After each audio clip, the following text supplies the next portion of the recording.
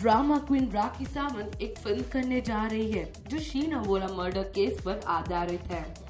इसमें राखी सावंत इंद्रानी मुखर्जी का role play करने वाली है।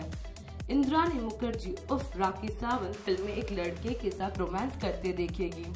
इस फ़िल्म के एक एल्बम का टाइटल है, एक कहानी जोली इस एल्बम सॉन्ग को अपनी आवाज़ दी है अरमान मलिक ने और कंपोज किया है डीजे शेजवुड राखी इस सॉन्ग में रेड गाउन लॉन कर रही है और बहुत ही खूबसूरत दिख रही है।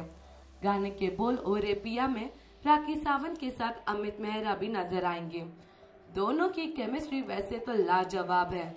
वैसे राखी को इस अवतार में देखकर हमें काफ़ी अच्छा लग रहा है। और आपको?